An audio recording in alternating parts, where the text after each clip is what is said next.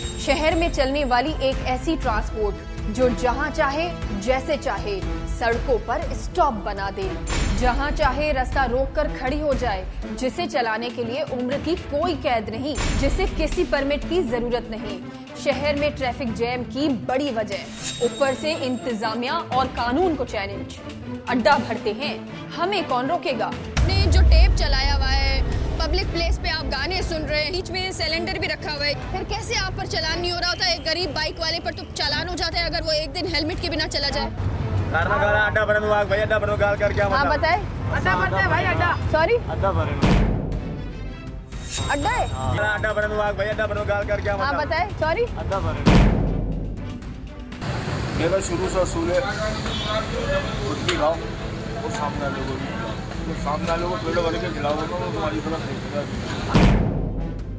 तो काले धंधे या ऑर्गेनाइज क्राइम आम आवाम से पोशीदा हुआ करते थे, ताकि कानून और इंतजामिया तक ना पहुँच सके। मगर हमारे यहाँ कानून और इंतजामिया की छतरी तले गैर कानूनी काम पनपते हैं, जिसे बदकिस्मती से बाशूर आवाम भी देखकर अनजान बनते हैं। या फिर उनके लिए मजबूरी बना दिए जाते हैं ताकि किसी की मजाल न हो कि उनके खिलाफ आवाज़ बुलंद कर सके। पंद्रह हज़ार अगर चौकी दे रहे हो तो पाँच सौ मोरल के हाथ में लगती है हज़ार किसी आईओ के हाथ में लगती है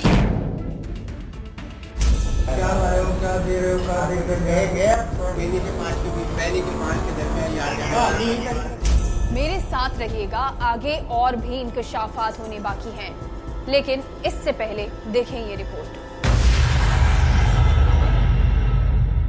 शहर के हर इलाके, हर गुजरगाह, बाज़ार, अस्पताल और कहीं भी नज़र पड़े तो ये अजीबो गरीब किस्म की सवारी और इसमें लदे आठ से बारह अफराद आपको कहीं भी नज़र आ जाएँगे।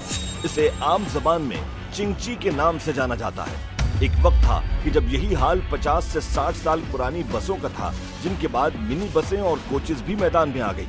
मन माने कराए जगह जगह स्टॉप्स रेस लगाती, छतों तक भरी ये बसें मिनी बसें और कोचेस शहरियों की मजबूरियों का फ़ायदा उठाकर यहाँ एक मकाम से दूसरे मकाम तक ले जाने की जिम्मेदार थी, जिसके बाद इस शहर की किस्मत मजीद सवाल का शिकार हुई और सड़कों पर दौड़ते मोटरसाइकिल रिक्शे नज़र आने लगे, जिन्होंने ट्रैफ़िक के निज़ाम को तबाह बर्बाद कर डाला।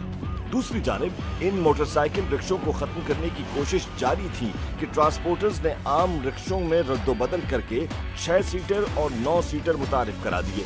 मोटरसाइकिल रिक्शों से गिरती पड़ती और बसों और कोचेस की छतों पर लटकती आवाम को ये नौ सीटर किसी नेमत से कम नज़र न आए और ऊपर से इनके कम कराए। आवाम कहाँ जाते? और देखते ही देखते ये छह सीटर और नौ सीटर शहर में वबा की तरह फैल गए।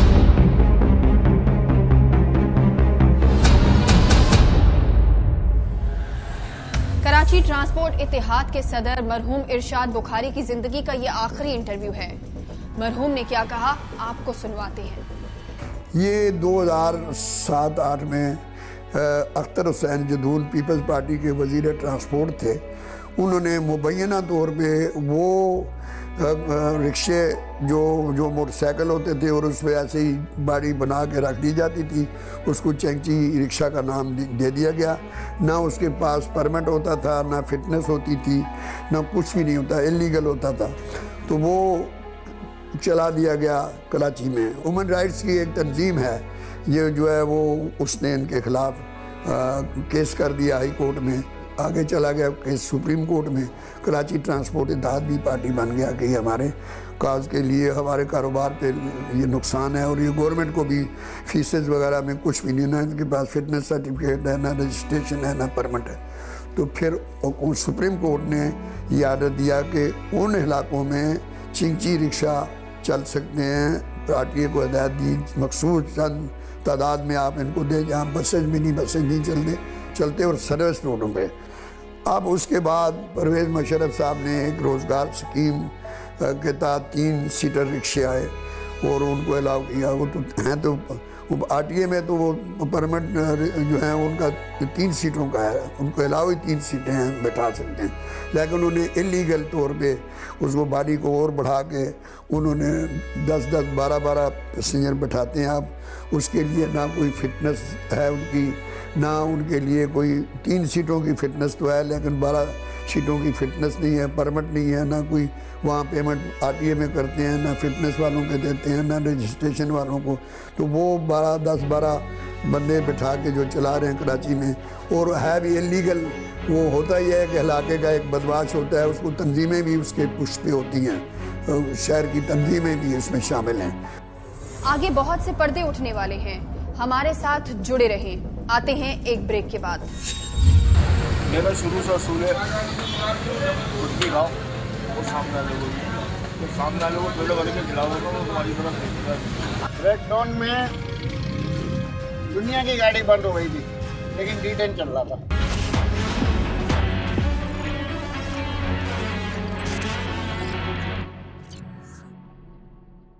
ब्रेक से पहले आपने देखा कि कराची की सड़कों पर गैर कानूनी छह सीटर और नौ सीटर के बारे में मरहूम इरशाद बुखारी ने क्या कहा? अल्लाह उन्हें अपने जवार रहमत में जगह अता फरमाए। आमीन। सिक्स सीटर्स और नाइन सीटर्स ने सड़कों पर आते ही शहर के माहौल, ट्रैफ़िक के निज़ाम और रोड सेफ्टी की धज्जियाँ उड़ा दी। सादा लो अवाम में मकबूलियत की वजह से ये ट्रांसपोर्ट देखते ही देखते एक माफिया की शक्ल इख्तियार कर गया। जिसने शहर के निज़ाम को धर्म भरम तो किया ही, साथ ही तमाम कानूनी जब्तों को रद्दी की टोकरी में डालकर अपना सिस्टम बना दिया और उनको आशीर्वाद मिला ट्रैफ़िक पुलिस का। ट्रैफ़िक पुलिस और चिंची माफिया के इस गठजोड़ ने निज़ाम को तबाह किया ही है, मगर लाखों और करोड़ों रुपए की कमाई भी मुतालिका इदारों के करप्ट एहलकारों और अफसरान की जेबें गर्म किए हुए है। शहर के अहम रास्तों और मकाम पर बाकायदा इस गैर कानूनी सवारी को सहूलत फराहम की जाती है। सड़कों पर अपनी मनमानी करते, रास्ता रोकते, ट्रैफ़िक जैम करते, इन छह सीटर्स और नौ सीटर्स को ट्रैफ़िक एहलकार नजरअंदाज करते हैं। हेलमेट का ना होना, नो पार्किंग में गाड़ी लगाना, सिग्नल तोड़ना और ओवरलोडिंग। फिटनेस और रूट परमिट पर चालान और गुंडा टैक्स वसूल करती कराची ट्रैफ़िक पुलिस को शाजो नादिर ही किसी नाइन सीटर या सिक्स सीटर पर चालान करते देखा गया है। आखिर माजरा क्या है? ये सिस्टम क्या है? ये कैसे काम करता है? और कितना काला पैसा किस की जेब में जा रहा है? खुलासा किया टीम गिरफ्त ने। टीम गिरफ्त की तफ्तीशी टीम ने शहर भर में कायम चिंची रूट्स के ठेकेदारों और मुंशियों से रिक्शा मालिक बनकर डील का आगाज़ किया। इसी सिलसिले में एक चिंची अड्डा मालिक इमरान से नुमाइंदे की मुलाकात हुई। अब मुझे आप नाम मिला कि आपसे मशवरा करो। या तो आप अपने साथ कहीं मर्ज कर लो, या कहीं और जुगाड़ लगवा लो। गाड़ियाँ ज़्यादा हो जाएँगी, पंद्रह बीस तो मेरी अपनी है। लेकिन हो ज़्यादा जाएँगी मेरे पास अड्डा चल रहा है दो सौ सत्तर रुपये अच्छा। की गाड़ी? ट्रैफो की फटीक आपकी सारी? सारी बड़ी मेरी। आपकी सेटिंग कैसी है? है अच्छा। अगर किसी का पंद्रह सौ का चल कटेगा ना चलन तो अपना मान इस गुफ्तगू में अड्डा मालिक इमरान ने इंकिशाफ किया कि उसका इतना असर रसूख है कि जहाँ दूसरे अड्डों के रिक्शों का पंद्रह सौ का चालान कटता है तो उसके रिक्शों का चालान पाँच सौ रुपए का होता है। अगर चौकी किसी की पच्चीस हज़ार रही है ना वहाँ दस हज़ार रुपये चौकी जाती है। वो चालान भी नहीं होता जाके फंस जाता है। चौकियाँ हैं कितनी आपके रोड पे? हमारे रोड पे ग्यारह बारह चौकी है। मेरा शुरू से असूल है खुद भी खाओ और सामने वाले को भी खिलाओ तो सामने वाले को पेड़ भर के खिलाओगे ना वो तुम्हारी तरफ़ देखेगा पंद्रह हज़ार अगर चौकी दे रहे हो तो पाँच सौ उसके मोटर के हाथ में लग दिया हज़ार किसी आईओ आईओ के हाथ में लग दिया किसी के सारे खुश हो गए। गाड़ी देख के मुँह बेल कितनी गाड़ियाँ भी वैसे आपको मेरे पास चल रही है पिचासी नब्बे सौ गाड़ियाँ हैं। एक और रूट मालिक से मुलाकात में रूट के अंदर आने वाली ट्रैफ़िक चौकियों पर महाना रिश्वत की रकम सामने आई।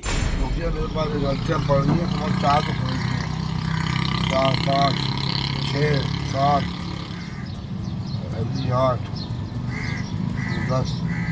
तो चार तो क्या कर रहे हो? एक ही बंदे को दे रहे हो? चौकी अलग अलग सब मेरे पास चार चौकी जो सड़क की वो लिए अच्छा। चारों। सही है। वो साठ रुपये काट लेंगे। वो सौ रुपये काट लेंगे। एक गाड़ी पे। हाँ हो चार चौकी कितनी की है अस्सी हज़ार चौकी है बीस हज़ार जो वो तीस एक लाख बीस की चार चौकी है। एक लाख बीस उधर चार वा- चार चौकियों पे चार चौकियों तो इधर इधर जो पड़ रही है। इधर सब मेरी इधर कितनी है? इधर जो सात है सब मेरे पास सब मेरी चौकी ऐसी है कोई सात की है कोई दस की है कोई पाँच की है कोई नौ की है ऐसी मेरी चौकी। अच्छा वो अच्छा सब छोड़ सही है। आपका वैसे क्या चल रहा है? तीन सौ चल रहा है ढाई सौ चल रहा है? क्या चल रहा है। चार सौ ही चार सौ परसों चार सौ हो जाएगा पूरे चार सौ। आखिरकार हमारी मुलाकात एक ऐसे रूट मालिक से हुई कि जिसने ट्रैफ़िक चौकियों पर जाकर बराह रास्त रूट खोलने और रकम की डील तय करवाने का बीड़ा उठाया और तीसरी मुलाकात में हमारे साथ चौकियों की जानब रवाना हुआ। आप क्या चला रहे हो से? भाई दोनों तरफ़ के दोनों तरफ़ के? आपको देंगे या आधे उधर देंगे? आपको आधे देंगे। वहाँ के उधर हमारे किसको? अस्सी रुपये रेड जोन में दुनिया की गाड़ी बंद हो गई थी लेकिन डी टेन चल रहा था। अच्छा। क्यों चल रहा था? क्यों क्या पैसा और कब। कब की बात है ये? ये तकरीबन तीन साल हो गए इस बात को तीन चार साल हो गए। हुए हैं ना? उसी टाइम की बता रहा हूँ। यहाँ भी हुए हैं लेकिन हमारे नहीं हुए हमारे रोड के नहीं हुए। बड़ी बात है ज़्यादा ज़ोर मारो दो हज़ार अच्छा। बस। अब वो क्योंकि ये पैसों के साथ एसरो के डीएसपी के कहिए अलग से देता था उनको वो कैसे देता था कैसे पूरा करता था वो खुद को पता था हमें नहीं पता। असल में उसकी सेटिंग अच्छी होगी ना सेटिंग अच्छी थी। फरहान ने मजीद बताया कि पुलिस मोबाइल और मोटरसाइकिल सवार भी इनसे भत्ता वसूल करते हैं। आधा थाने की नफरी तो बाइकों पे घूम रही बाइक थी को भी घूम रही है। उधर भी मेरे मोबाइल पे चार होते हैं इतवार वाले दिन दो ही नज़र आएँगे दो बाइक पे होंगे। हाँ। अब दो सौ उनको दो सौ तो बांधने में मोबाइल हो गए हम्म, एक मोबाइल के दो सौ। अब बाइक वाले आते हैं दो सौ उनको दो। मोबाइल वाले आए दो सौ उनको दो। भाई इसी चक्कर में छह साढ़े छह हज़ार रुपये थाने वाले भी लेते होंगे ना? थाने वाले लेते हैं वाले। उनका जाता है उनका जो हफ़्ता जाता है पंद्रह सौ रुपये अच्छा। वो तो जाता है पीटर आता है ले जाता है। हम्म। यहाँ अभी कौन है आर के साहब और एसओ इधर सरजानी में? सरजानी मकसूद। मकसूद ऐसो है। चिंची के रूट पर पड़ने वाली ट्रैफ़िक चौकियों को उमूमन दो हिस्सों में तकसीम करके दो अफराद या दो पार्टनर्स अपने अपने हिस्से की चौकियाँ संभालते हैं जो रोज़ाना की जमा रकम या फिर किसी तनासुब के एतबार से वसूल करके अपने हिस्से की चौकियों को रिश्वत देते हैं। अक्सर चालान की रकम भी अड्डा मालिक की ज़िम्मेदारी होती है। चालान सिर्फ़ दिखावे का या फिर मजबूरी के तहत ही काटा जाता है। नहीं किया। ये बस सेटिंग पे चल रहा था तो हम कोई रूट नहीं देते।